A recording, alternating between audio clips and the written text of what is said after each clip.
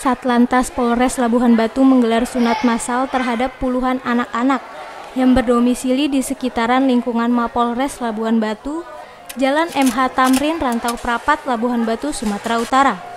Kegiatan ini merupakan bentuk kepedulian Polri untuk meringankan beban masyarakat yang perekonomiannya terdampak pandemi COVID-19 dan sekaligus dalam rangka memperingati Hari Lalu Lintas Bayangkara ke-65.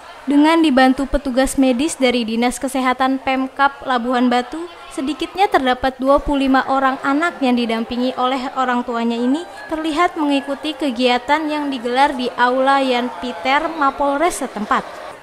Kapolres Labuan Batu AKBP Deni Kurniawan menyebutkan kegiatan sunat massal ini yang digelar oleh Satlantas Polres Labuan Batu selain dalam rangka memperingati Hari Lalu Lintas Bayangkara ke-65 juga sebagai bentuk kepedulian Polri terhadap masyarakat yang perekonomiannya terdampak akibat pandemi COVID-19.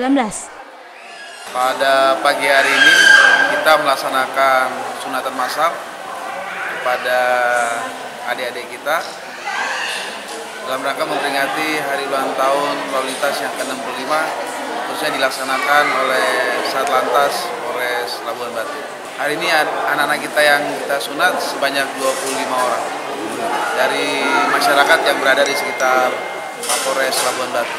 Semoga dengan kegiatan ini eh, kita dapat saling membantu antar sama karena dengan eh, adanya pandemi COVID-19 ini sebagian masyarakat kita memang terdampak secara ekonomi. Nah, dengan diharapkan dengan ini bisa meringankan beban saudara-saudara kita bagi yang utama yang uh, terdampak.